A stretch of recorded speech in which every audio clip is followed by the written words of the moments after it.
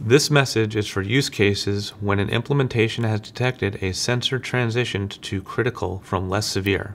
Log in to the xClarity controller and go to Events.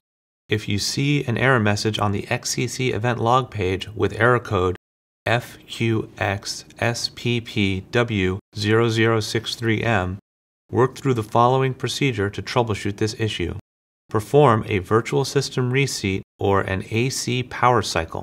If the error persists, shut down the server and remove AC power and any recently installed components. If the system successfully powers on, complete the following steps. To make sure that the recently installed components are compatible with the system, inspect the previously installed components for physical damage and fix it. If the system does not successfully power on, or if this is not the first occurrence of this problem, collect and upload the server service logs and contact Lenovo support.